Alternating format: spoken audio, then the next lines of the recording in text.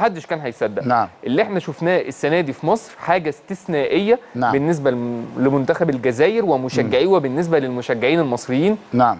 طبعا مع كامل الإشادة بالأداء اللي قدمه منتخب الجزائر منتخب الجزائر هو أفضل منتخبات البطولة ده وهو صحيح. المنتخب الذي يستحق التتويج. وعلى فكرة ما فيش ما يمنع في إن البعض يتعاطف مع السنغال أو مع نيجيريا لا دي أو كورة. مع لا دي كورة بالظبط. أو أوغندا. يعني ما فيش ما يمنع. أنا جنوب أفريقيا كسبتنا في الاستاد والجمهور سقف لها وجنوب يعني- أفريقيا كان في ناس بتدعمها في ماتش نيجيريا. يعني الموضوع مش مش يعني, يعني الموضوع ده مش طبيعي مشكلة. يعني لما يكون عندك 5% ولا 7% ولا 10% ده طبيعي. ولا حتى 50% نعم. يا أنا بقول لا يعني ما, ما وصلتش ابدا لأكتر من النسبة اللي أنا بقول اللي لحضرتك إحنا اللي عليها. إحنا بنتكلم فيه في إيه؟ إن منتخب مصر خرج.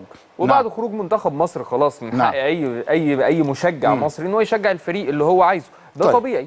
عايز أسألك سؤال إنه آه، مصر برضو كان بعد غياب سنوات طويلة 2006 2008 2010 خدت ثلاث بطولات ورا بعض. هي آه، يعني ع- أعوام ال- آه، القوة والنضج للكرة المصرية بسبب الجيل.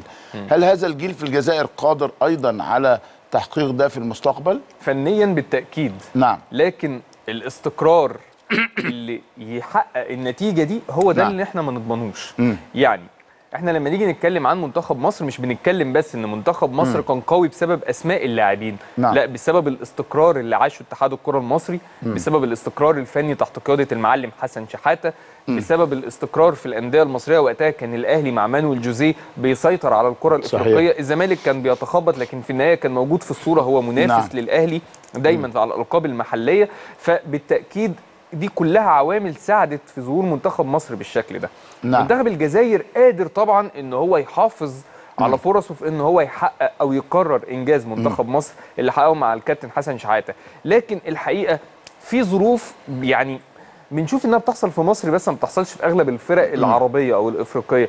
النوع ده من أنواع الاستقرار ونوع كمان يعني إحنا هنا في مصر اللعيبة المصريين عندهم يعني ارتباط بمنتخب مصر قوي نعم، جدا نعم. شوية. آه، عكس المنتخبات التانية. يعني أعتقد إن برضو في ميزة مهمة جدا في إقامة البطولة في الصيف إن دلوقتي في فرصة إن اللعيبة تيجي كامل تركيزها نعم. على تمثيل منتخباتها. لأن زمان لما كانت البطولة بتقام في شهر, شهر يناير, يناير، كنا آه. بنوقف الدوري المصري. نعم. وطبعا لأن أغلب منتخب مصر من اللاعبين المحليين ما كانش بيبقى فيه مشكلة. لكن طبعا المحترفين كانوا بيواجهوا مشكلة. بيبقى نعم. فيه قلق من خسارة أماكنهم مع. الأندية. أنديتهم بتضغط علشان يخلصوا البطولة نعم. بدري بدري أو حتى ما يروحوش. فطبعا دي كلها عوامل كانت بتأثر. منتخب الجزائر دلوقتي ممكن يستغل النقطة دي لصالحه.